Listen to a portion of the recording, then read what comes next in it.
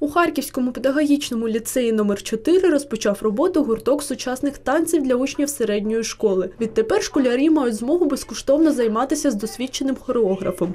Конечно, для меня это большая радость того, что добавилось у нас время работать с детьми. Это мое призвание, это моя любовь. А Без детей я себя не представляю. И теперь мы даже можем больше на 4 часа с ними в неделю работать.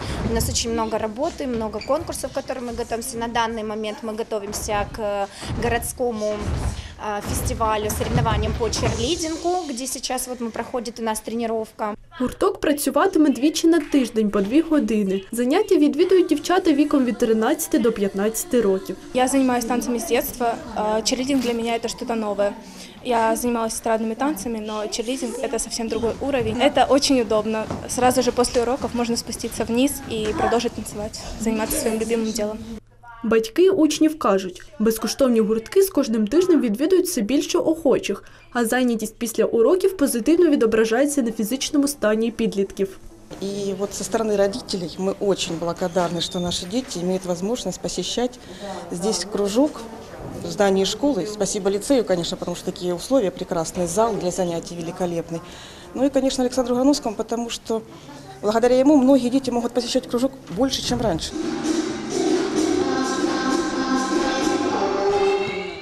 А це Харківська гімназія номер 1 де почали працювати одразу два гуртки. Діти молодших класів тепер мають можливість безкоштовно займатися хореографією та образотворчим мистецтвом. Мы очень благодарны Александру Михайловичу, мои родители, они очень довольны, учителя тоже очень довольны, детям очень нравится. Мы сколько раз спрашивали, нравится заниматься в этих кружках.